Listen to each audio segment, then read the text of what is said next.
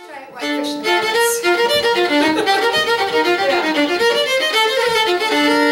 you, for your benefit, I'll play that instead.